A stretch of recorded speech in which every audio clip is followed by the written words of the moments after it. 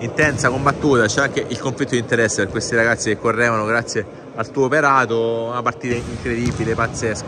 Però è andata male, che gara è stata? È stata una gara dove noi difensivamente abbiamo regalato due quarti, ci siamo approcciati un po', un po male in difesa, non tenevamo gli uno contro uno, ehm, abbiamo subito troppo la loro veemenza in rimbalzo d'attacco e quindi abbiamo regalato troppi secondi possessi e loro hanno capitalizzato molto bene eh, forti alla loro freschezza atletica e comunque eh, erano molto motivati e si vedeva perché ci tenevano a fare bella figura contro eh, una squadra un po' più esperta di loro, quindi eh, voglio fare i complimenti al Botteghelle, a tutti i ragazzi che comunque alleno, che hanno meritato comunque oggi di vincere la partita. Eh, onore a noi che comunque non abbiamo mollato anche quando sembrava chiusa. Che ti ha detto il presidente Musolino?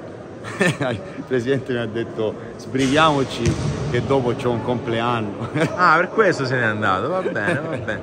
Santo, è un passo falso, è il secondo in stagione dopo quello di Gira Tauro, però chiaramente il vostro è un gruppo che si è completato tardivamente, che può puntare in alto.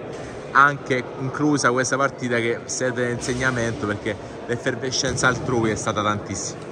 Eh sì, ma questo è un campionato che si presterà molto a diciamo, vittorie sulla carta no? delle squadre un po' più sfavorite, eh, anche perché ci sono tante squadre molto valide, eh, molto, mh, molto, giovani, eh, che fanno dell'aggressività, dell'intensità la loro arma principale.